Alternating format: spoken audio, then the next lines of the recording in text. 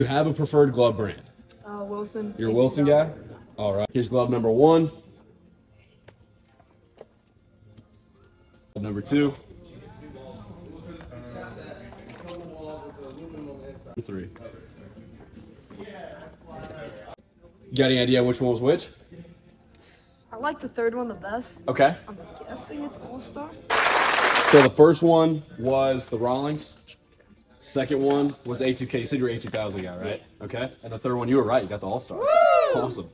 Um, Wilson. Here's number one.